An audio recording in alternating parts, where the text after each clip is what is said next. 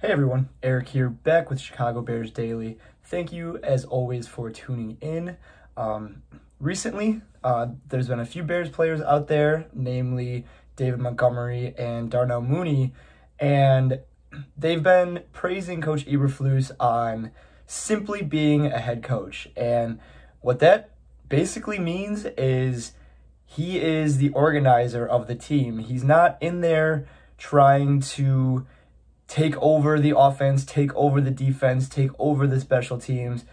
Eberflus out there from the descriptions of the players that have come out and talked about him.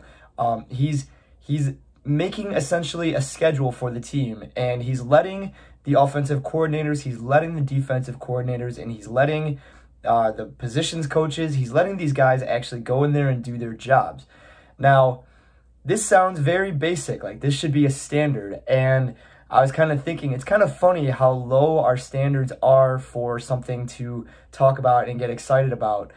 But if you think about our last regime here, uh, Matt Nagy, he really, really, really thought that he was an offensive guru. It really got to him, and he every the whole saying is his ego just way overinflated, and so he he wouldn't let the offensive coordinator do his job. He wouldn't let the wide receivers coach do his job. He had to dabble. He didn't just dabble in the offense. He took it over. And even when it wasn't working, he kept going. And it was a fail after a fail. Once he was figured out, it just was, it looked ugly. Now, Eberflus is taking an entirely different approach. And to me, that's exciting. That's an exciting thing because you see the coach, the head coach is supposed to make sure that these coaches are doing their jobs. Now, a coach can't really, a head coach can't really make sure that a defensive coordinator or an offensive coordinator is doing their jobs if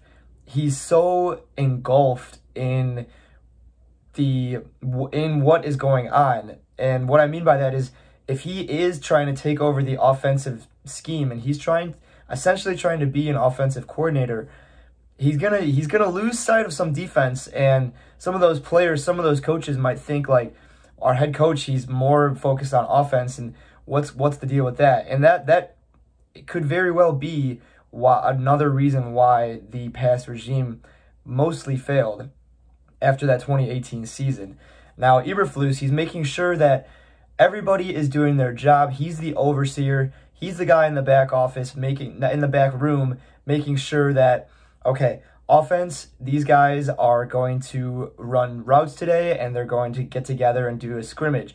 And the, he's he's making sure he's he's taking a little bit of a step back and he's letting these guys kind of because he's letting these guys more so just take advantage take control of what they think and he's got he's giving these guys a chance to kind of do what they feel is right for the team and he's letting them use their little bit of creativity on both sides of the ball and I'm assuming on special teams as well. So for two offensive guys to come out here and say that they really really like the new what what Eberflus is doing and it's it's interesting because from an outsider from a non-player's perspective, it looks like the head coach is almost taking a step back.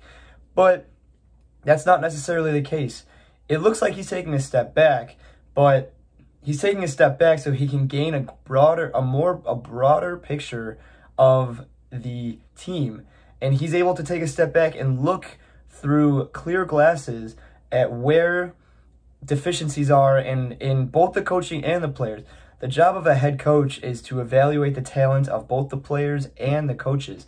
So if he's if he's taking a step back and he's not the guy that's getting so involved and he's not the guy that is trying to push his own agenda, then then he can really get a feel for the talent uh, on the field and the talent that is kind of directing the guys on the field. So it's exciting to see two offensive guys get very excited about the fact that he's taking a step back because I've been hearing things that the the offense is obviously going to take a step forward from last year. It's hard to it's hard to go anywhere but up after last year's performance. Um, so the, to the, these guys, what excites me is that they're coming out and they're talking all these great things about Eberflus, and I get that they're supposed to. He's their head coach, but that's also another side of it. He has he has their respect. They obviously want to play hard for him, and the goal for him in this first couple years is to do the right things, make sure that everything stays organized, and just essentially ins- ins- ensure that everything kind of stays on schedule. And he is the guy that it all boils down to. So he has to make sure it's organized. He's looking at he's looking at the team from all different corners, trying to smooth out the rough edges, and that's that's going to be an exciting thing to watch going forward. Going into training camp, going into preseason, it's going to be an exciting thing to see. Um, if you agree, if you feel like Eberflus so far, we haven't seen anything in game, but if you feel like from what you've heard so far is the only good things, um, feel free to leave a like or a comment. If you feel, feel otherwise, if you don't like Eberflus coming in, he's changing things up. Um, I, I know a lot of people aren't liking the fact that he's coming in with a 3-4 defense, uh, primary cover 2 defense. Um, feel free to drop a comment, start a discussion in the comments. Um, hit that like button, subscribe, and we will be back in the next video with more Bears talk.